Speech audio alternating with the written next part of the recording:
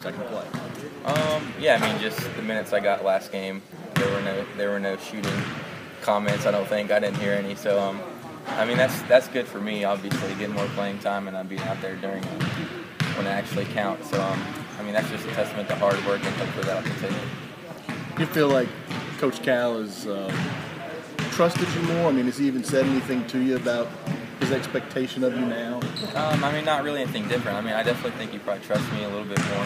Um, just, I mean, just putting me out in the game during crunch time situations is proof that he trusts me. So um, that's definitely a good feeling, and hopefully I can continue to work hard and keep playing.